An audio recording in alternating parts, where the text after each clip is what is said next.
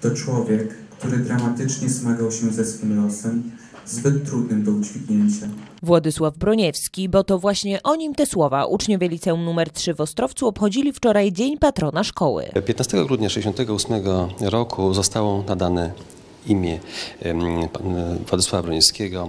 Imię to em, właśnie do dnia dzisiejszego cały czas nosi nasza szkoła. I od tamtego czasu em, staramy się em, podtrzymywać tą e, chlubną tradycję naszej szkoły em, i co roku mamy tego typu piękną uroczystość zawsze w, w okolicach 15 grudnia. W tym roku podobnie młodzież z Bronka przygotowała obchody Dnia Patrona. Z tej okazji zaprezentowali program artystyczny, w który wplecione zostały elementy biografii Broniewskiego. Składa się z tekstów poetyckich Broniewskiego, a także z mm, poezji śpiewanej, której bazą też są właśnie teksty poetyckie Broniewskiego. Uczniowie, którzy występowali na scenie z twórczością Broniewskiego, musieli się zetknąć, choćby przygotowując swój program.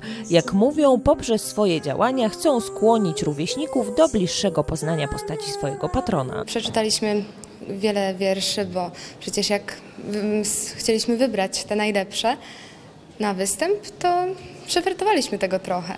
Więc myślę, że my mamy świadomość jego twórczości. E, Mam nadzieję, że nasz występ właśnie zachęci, wzbudzi w nich ciekawość, która e, później objawi się tym, że w domu sobie e, poszukają w różnych książkach w internecie informacji na temat Władysława Broniewskiego, bo no, jest wiele mitów. Tym bardziej, że Władysław Broniewski, poeta XX wieku, znany z wierszy i poematów, ale także żołnierz Legionów Polskich, stał się artystą trochę zapomnianym. Broniewski właściwie w tym momencie też już wyszedł z kanonu lektur i nie, poezja jego niewiele się kojarzy.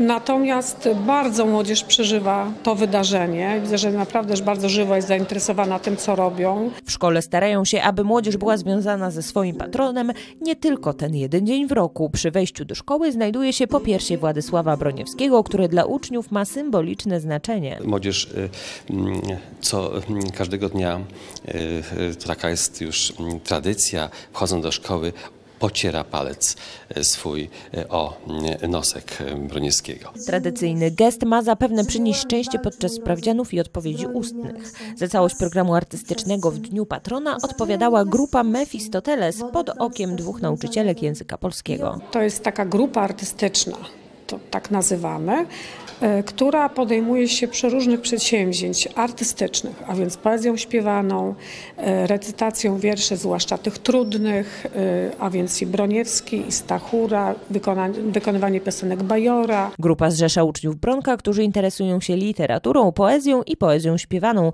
W ten sposób rozwijają swoje zainteresowania artystyczne. E, To jest nasza druga wspólna e, akademia, którą robimy uroczystość. I właśnie tutaj jeszcze bardziej mogę się rozwijać. Ta grupa artystyczna daje mi możliwości e, poznania sylwetek wielu e, wspaniałych poetów, pisarzy polskich. Władysław Broniewski jest patronem liceum nr 3 w Ostrowcu od 47 lat.